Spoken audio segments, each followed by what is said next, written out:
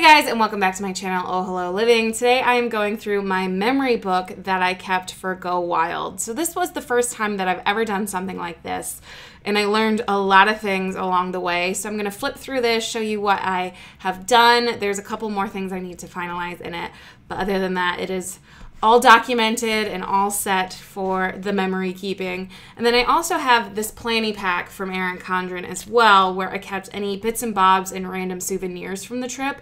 And I'm just going to attach that to the notebook and keep them stored together. So let's get into this thing.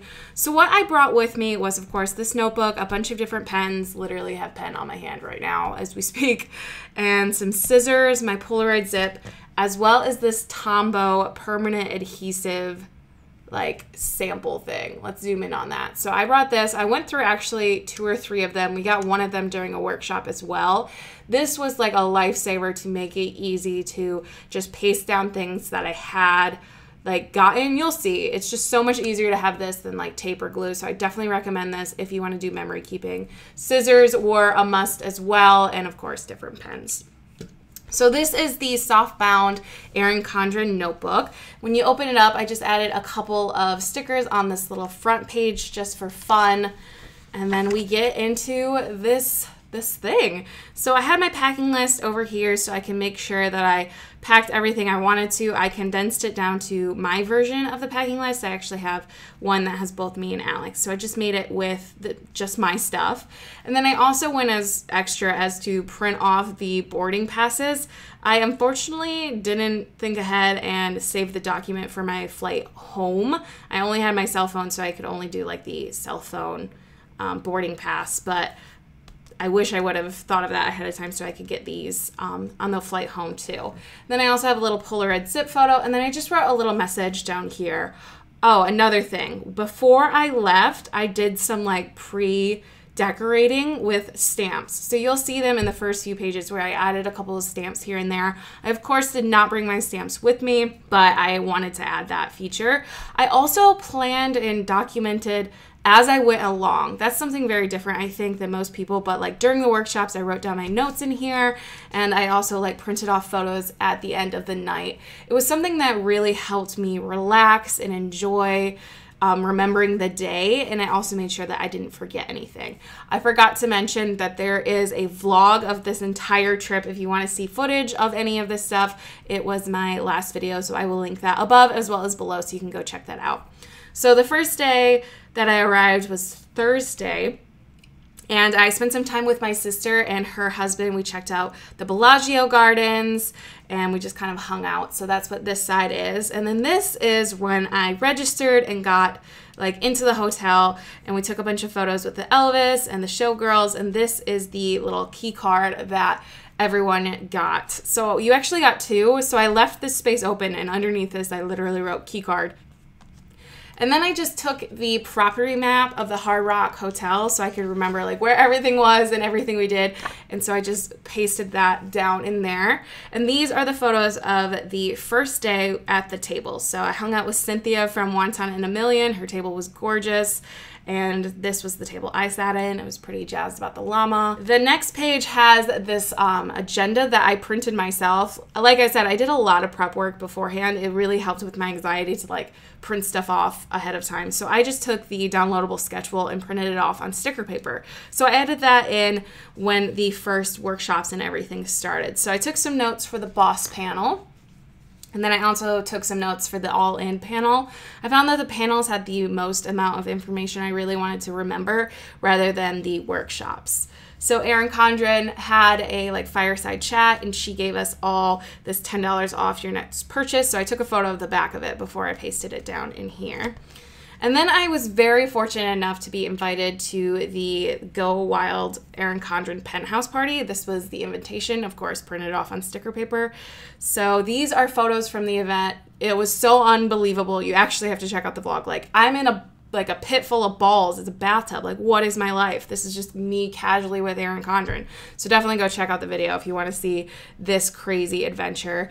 And then I also took a bunch of selfies with a lot of my gal friends. So I got Lakin, Belinda, Chrissy Ann Designs, Ashley Ann. This is I Speak Fluent Coffee. This is my favorite daughter, Emily. And then this is Marg from One, or, um, Once More with Love. And then in our swag bags, we got a ton of these dashboards and postcards. And so I wanted to use them as much as I could. So I just started pasting them throughout the book. So then there was a speech from Chrissy Ann Design. So I wrote a couple of notes from her and added some stickers. And then we did this workshop with Amber. Um, Damask Loves. So I just added some of the stickers. There wasn't really much notes, and then this was part of the workshop. So I kind of tried to like paste it in the middle so you could like lift it and flip it. It didn't work out the best, but I think it gets the point across. And then we went to Black Tap, I think it was called Black Tap, and had these crazy milkshakes. So this documented the crazy milkshake journey. Another postcard. I also got this little book of the Vegas Strip and just cut out the map. Added a little llama for where we were at just to kind of see the uh, Vegas Strip. So this is where I want to put down plan Planjama photos. So these were the um, Sweet Kawaii design stickers that we got. She also handed out this little washi card as well, but I still have to print these off because a lot of my friends took photos, so I'm still getting them from them so I can add that in here. This was my packing list home. So I make sure I had everything that I brought with me packed. This was the key card that I actually used rather than the Chrissy Ann Designs one. And this one is my, what you call it, my name badge. So the adhesive strip stuff does so well at making sure all of this sticks down. Like I haven't had any issues with anything falling off. This was a photo we took at Planjama between me and Amy from Lilac Pineapple Co. And then I took the time to write out my thoughts. So this first section is right before Planjama, and then the rest of it was on the plane home. So I just wrote out some of my thoughts, my feelings, what I didn't expect to happen, what I was happy about, some of my favorite memories. And then I took this spread to write down some of the favorite, like, wild four things. So, things that I just really enjoyed. So, I enjoyed traveling by myself, Planjama, those giant crazy milkshakes, this memory journal, making new friends, that sort of thing. These are more photos from Planjama. I took a bunch. So, these are just some of the fun, crazy ones we took with Jen and Jen and Lakin. And then this is the napkin from the bar. And I got these um, sticky notes in just I think in a swap, so I just added one down there. And this is where I want to put my glitter carpet photos from um, the Planjama party. So this was hosted by Sweet Kawaii Designs. So I have all of the Sweet Kawaii die cuts over here, but they were taken professionally and they still haven't been posted yet. So I just put this little sticky note here to remind me to do that.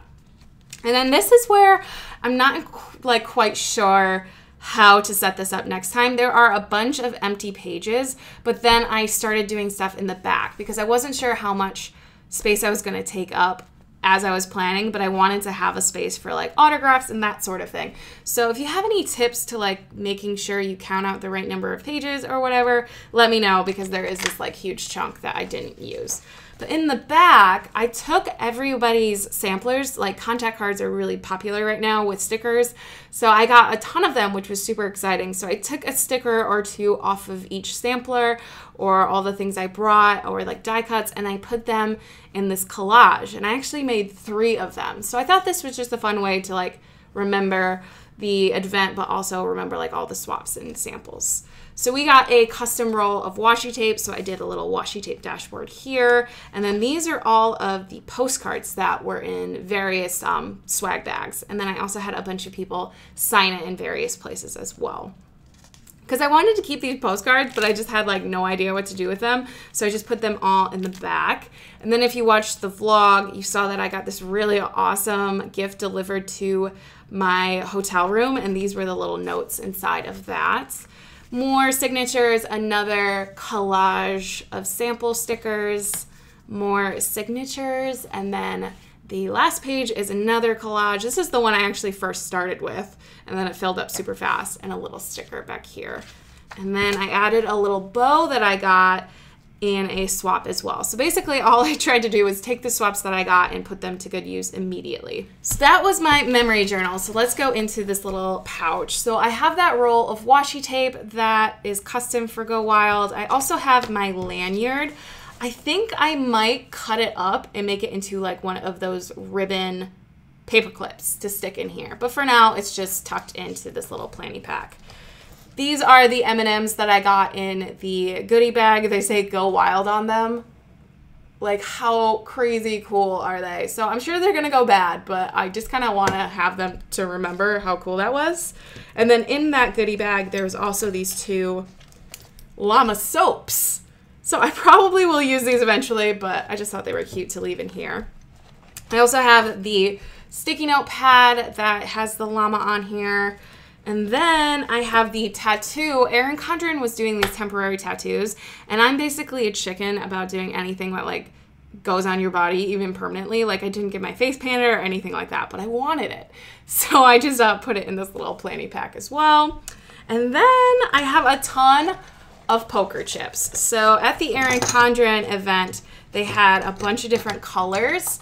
And then the booth I was staying at, or the table I sat at, had one for the two people who did our table swag. So I think this is Miscellany Boulevard and this very crafty mama. And then they also gave us the poker chip for the Hard Rock Hotel. So I have these two, but then I also have a bunch of the Erin Condren ones from the event. There is also a Villa Beautiful Go Wild pen in here as well that Jen Ross gave to me. So that is everything that I'm keeping in the planning pouch. So there you guys go, the flip through of my memory book. I loved the process so much. I definitely will be doing this more in the future. I think I'll just have like one book for the next upcoming conferences because I don't think I'll have as much stuff as I did with this one.